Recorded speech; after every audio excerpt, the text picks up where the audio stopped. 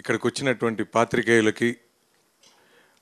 మాకు ఈ అవకాశం ఇస్తున్న చెరి గారికి రవి గారికి నవీన్ గారికి ఇది ఫస్ట్ ఆ, ఫస్ట్ పార్ట్ రిలీజ్ అయినప్పుడు మేము రాయలసీమ డిస్ట్రిబ్యూటర్ని